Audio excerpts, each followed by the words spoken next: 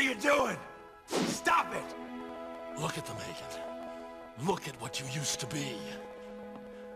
No. No. Turn them off. You can play those roles again, Hagen. Let me help you find a cure. No! Hagen's gone! Make him stop haunting me!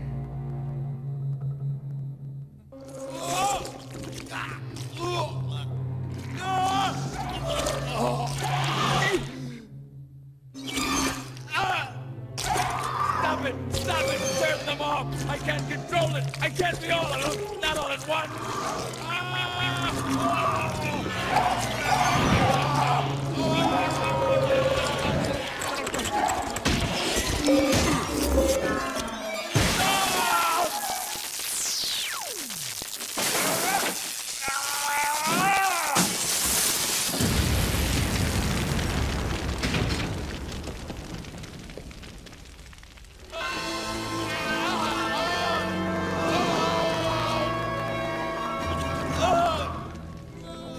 mercy.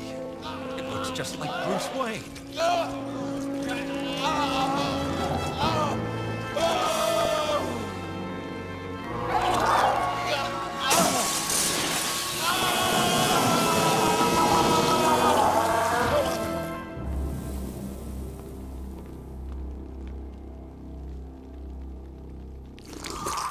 You know what I'd have given for a death scene like this?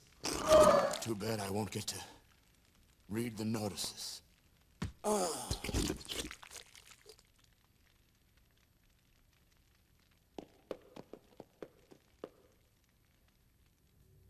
I'm just glad to know it wasn't really Bruce Wayne who attacked me.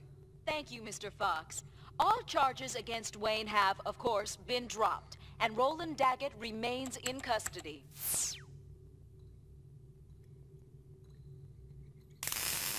Hmm. My word, sir. I should think, after all this, it would be time to rest. Look, a piece of clay left behind when they took Hagen's body away. Watch.